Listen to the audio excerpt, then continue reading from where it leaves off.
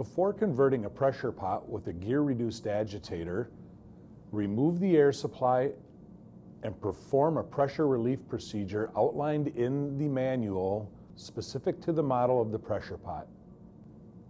Then remove the shroud, exposing the coupler. Then remove the four bolts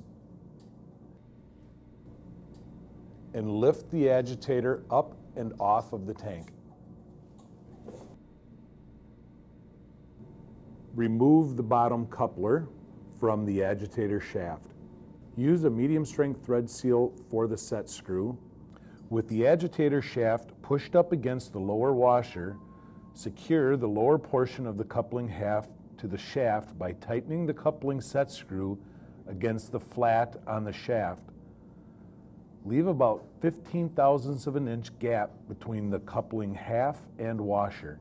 Insert the spider into the bottom coupler, then attach the top coupler to the bottom coupler. Align the upper coupling with the lower coupling. Install the new radial piston motor onto the agitator mount with the shaft going into the coupler. Secure using medium strength thread sealer on the set screw. Leave about 15 thousandths inch gap between each of the coupling halves and the spider. Make sure the air inlet on the agitator motor is parallel to the air supply regulator.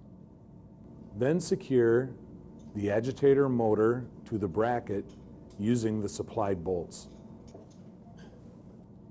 Connect the air line and air regulator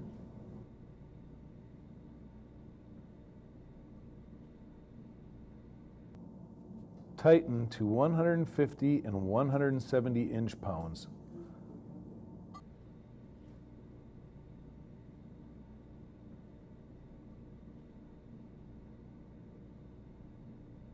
To check for proper alignment, run the agitator at low pressures and speeds. If necessary, adjust the alignment by loosening and retightening the four adapter plate screws.